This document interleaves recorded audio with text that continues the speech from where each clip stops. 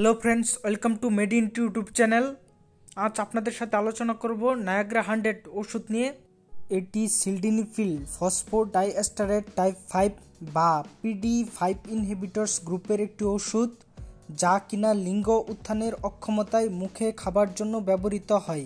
Niagara hundred ব্যবহার করা হয় ইরাকটাইল ডিসফাংশন বা লিঙ্গ উত্থানে অক্ষমতা ও দজভঙ্গির চিকিৎসায়। এবং পালমোনারি আর্টিয়াল হাইপারটেনশনে এটি ব্যবহার করা হয়। এর মাত্রা ও সেবনবিধি হল পঞ্চাশ মিলিগ্রাম দিনে একবার। যৌন মিলনের আনুমানিক এক ঘণ্টা পূর্বে সেবন করতে হবে।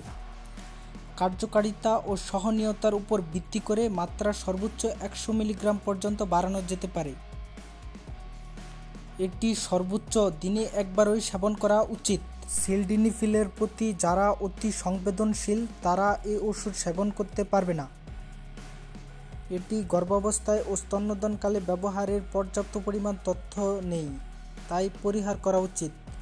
সিলডিনিফিল ব্যবহারের ফলে যে সমস্ত পার্শ্ব প্রতিক্রিয়া লক্ষ্য করা যায় তা হলো মাথা ব্যথা, মুখমণ্ডলে লালচে দাগ পড়া, বদহজম, দৃষ্টি সমস্যা, ঝিমঝিম ভাব, নাসারন্দ বন্ধ হতে পারে মাংসপেশির ব্যথা, চামড়ায় দাগ পড়া ইত্যাদি লক্ষ্য করা যায়।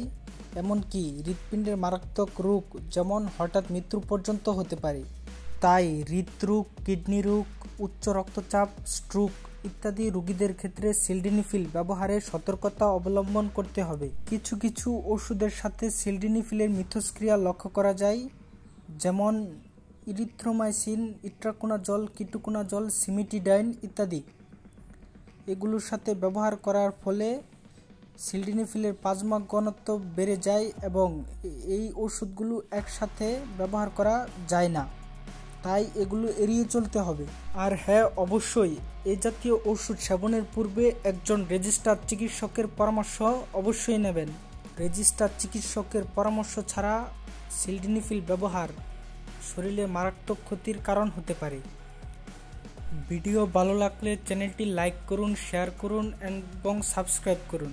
ধন্যবাদ।